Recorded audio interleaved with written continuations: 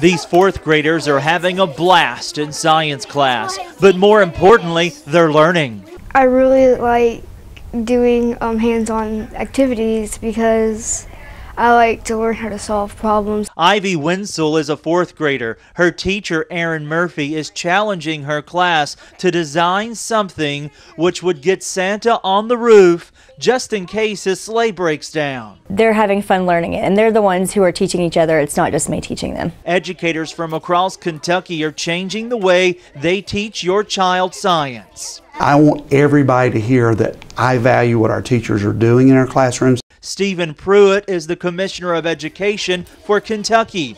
He says the way your child is even tested in science is changing. This is a test that's really being developed by our teachers, for our teachers. Pruitt tells me there will be three parts to this new science test. The classroom embedded assessments.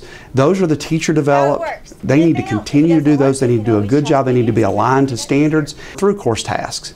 Those are tasks that, that teachers will do three times a year. And the final part? is the state summative assessment, which will still be in fourth grade, seventh grade. But that doesn't mean your child will only get science in the fourth and seventh grade. If you wait till fourth grade and seventh grade, your scores are going to be terrible because there's no way a student can learn the content they need to learn alone, much less the thought process that goes along with it. These tests are not going to be what they've seen before. Back in Murphy's classroom, her students put their backup Santa sleighs to the test. It challenges them to be able to apply the science knowledge they have to the world around them. Which means your child will be prepared for a world oozing with science. In Paducah, Jason Lindsay. to use force. Santa has a lot of mass. He's eating a lot of cookies.